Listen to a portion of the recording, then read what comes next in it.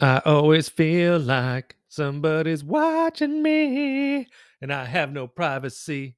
Oh, my watch list over at finance.yahoo.com.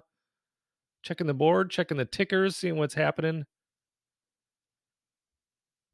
Let's see here. Oh, look at AMD.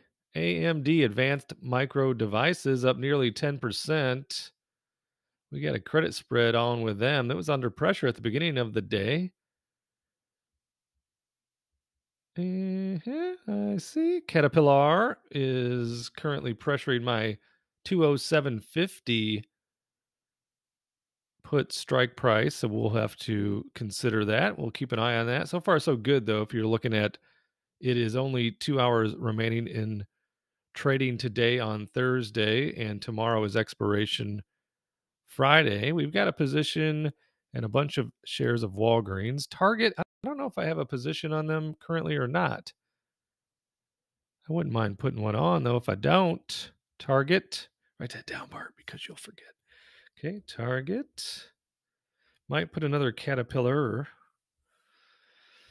might put another bit of action on Caterpillar for next week. If I don't already have, I might have a position there also. Johnson and Johnson, we've got a 165 call, so we'll just let that ride out into the sunset and then sell that covered call again when Johnson and Johnson is in the green. Starbucks, we've got a 104. I think it's a 104 slash 102 credit spread. So it is turned around a bit on us, which is good. That is nice. Very nice. Costco, I think we have a 482.50 and it's kind of uh, gotten flat. It was had some pressure on us early today, so the market has come off its session lows a bit. That Coca-Cola $63 call needs to be rolled. Verizon, we've got a 14 contracts at $38 on a covered call, so that's looking good for us for that to expire at full profit. Blackstone, we just we just uh, sold to close the long leg of our credit spread and we rolled the short leg out, putting an extra 500 plus dollars in our pocket. We've got an Exxon Mobil for next week that we might manage now to see if we can't collect a bunch of money. I think we got a 112 so that thing is deep down in my whiskey. Right there. Okay, so let's go to let's take check SPY first. So SPY at 40612, S&P is down 0.37, Dow down 0.77, Nasdaq 0.11, Russell down over 1 percentage point and crude oil is down again today as well. Now, it doesn't make sense for crude oil to keep going down. It just doesn't. We're undersupplied. OPEC said, not so fast. We're going to slow down production. So it doesn't it doesn't make any sense. So crude oil is going to go back up next week. Where's that magic 8 ball? Sitting next to the broken crystal ball that you have over in the corner. So let's take a look at the big board over on the over on the Robinhood. Is there any value left in that 79 long leg, daddy long leg? Apparently. So it'd probably be about a penny if I wanted to sell it. So I'd get five bucks. I may as well just leave that bomb shelter in place because right now that $81 strike's looking really nice. Really good. In, in fact, you can close it now for 15 bucks, I would imagine it would cost. You'd have to do the oh th- the three cents if you wanted to close it now, right? So fifteen dollars. I think we collected one fifteen. Yeah, so that'd be good. I mean, there's nothing wrong with that. Well, it's fifteen bucks, and you know you like to have fifteen more dollars than not, so we'll let it ride for now. CVS, we might. Oh, that's a big risk, but we might take that risk anyways. Let's look at this and see if we can do the same Brian Smith management style that we just did on Blackstone on CVS, another company that we have no problem owning, but can we make dollars instead of losing dollars? Because right now it's trading at seven or trading at 68.38. So we're taking gas. If we wanted to close it right now, it'd be a billion dollars. it'd be one billion dollars to close it. We'd probably have to do you know whatever in that range to close it so that would be $1450 to close it. We only collected 360 which you know that's a nice bit of change but it is on 10 contracts. So if we uh-huh, if we went to the $68 long we can get about i don't know 28 29 cents can we get 29 so they'd be $290 bills. And then we would remove, though, that safety net from the trade and it would have put that 70 into action. It would activate our dental plan at $70, but we could roll that right now, even just out a week, collect some more dollars, and then give CVS some breathing room to make a recovery back up over 70. Let's take a look at CVS as far as what it has done year to date. Why? to the T to the D year to date on CVS. Currently down 2.37% today after being down yesterday as well. So it's at it's at year lows. Hello. And I like CVS. I like it like that. I like it like that. I'm a, I'm I'm willing to take that risk you know, at the end of the day, worst case scenario becomes I take possession at some point at $70 or so, right? And I have $70,000 into a company that I know what they do.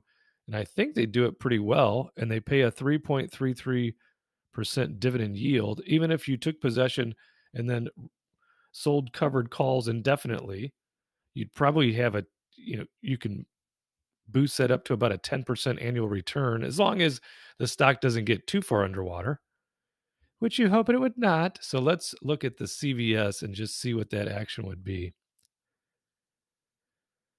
Right now it's saying 29 would be a low likelihood. I see what you're saying there. What about 27? So $270 to sell to close those 10 contracts. Then they'll have to shuffle $68,000 to the side as collateral. There's that 68 grand, right? 68,000, but we put $270 in our pocket. And that's just getting the party started. So if we get the party started at $270, how can we continue that party with the short leg by rolling that out even one week? Uh-huh. This is no longer the case, but let's click through it. One of those should have disappeared.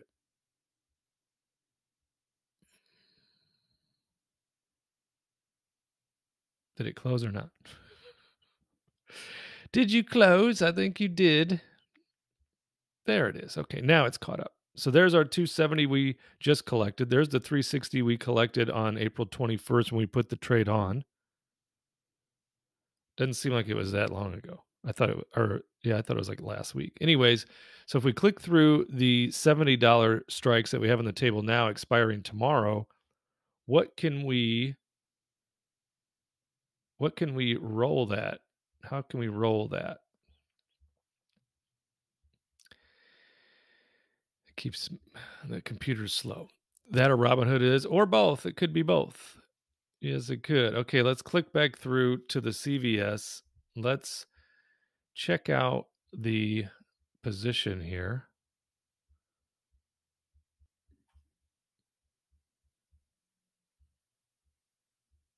It's currently acting a little funny. Probably my internet. That's fine.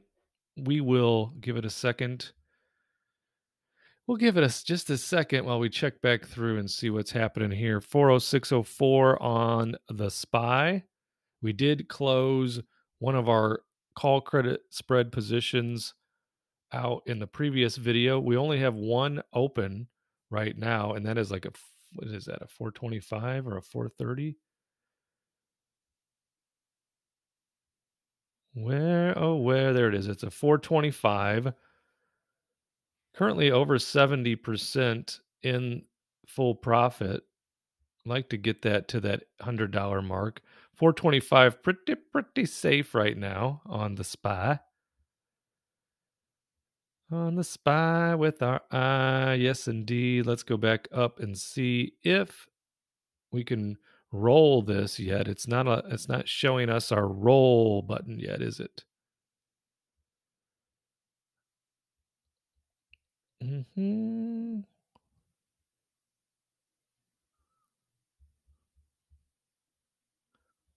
Yeah, it's still acting a little strange on us. It's acting a little strange. That's okay. We'll let it do. There it is. Okay, now it has appeared. Thank you, Robinhood, for your generous patience with my internet, or I was generously waiting awaiting you. If we rolled it one week, okay, so it's set to expire tomorrow. If we rolled it out just one week, eight days, we need to cover that 164 debit. If we rolled it at 70, which is you know what we were willing to take possession of it at anyways, but if we rolled it out a week starting today, we can get around $350 to do so. Let's see what it would be. What would we do?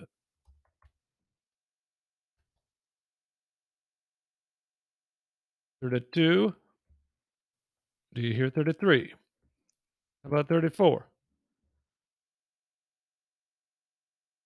Thirty-five.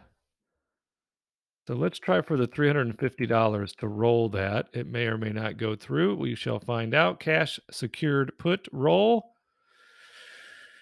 Okay.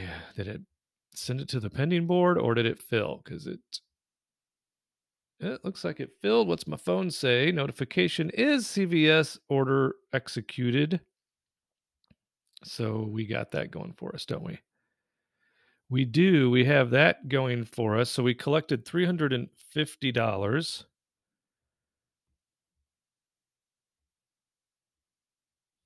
Three fifty. So essentially, we have seventy thousand.